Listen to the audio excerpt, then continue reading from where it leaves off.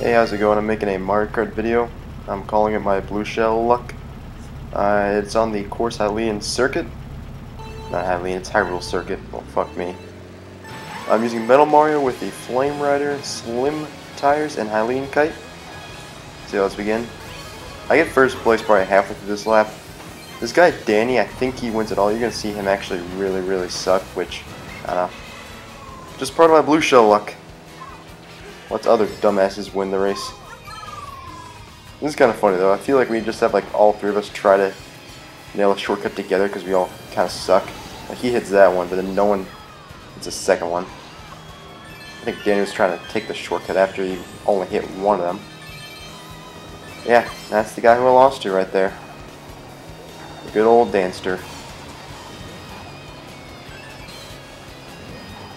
He wants this shit right here. He just drives straight into a wall. I don't know what his end game is, but it lets me get a massive lead. As that green shell just misses. I'm surprised it didn't hit me. Metal Mario is a magnet to green shells. Alright. I think you can see on the mini-map the first of the blue shells is coming. It's not the end of the world. I built a fairly big lead, so it doesn't really affect me that much, but just always sucks me get hit by a blue shell. There typically is only like one blue shell per race, so you think, alright, I just cruise the rest of the time, I'm in the clear, I win this race easy. I probably a solid 5 second lead on second place. Shouldn't really have any trouble. Alright, what is going on here?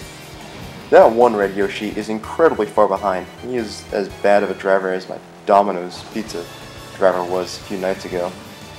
Bitch took an hour to get to my apartment when Domino's is 10 minutes away. And splendid. Alright, so the red shell can't do jack shit, but I can't protect myself against this blue shell coming. The second blue shell of the match I get hit by. Believe it or not, even though I get hit by this blue shell, I still hold on to the lead.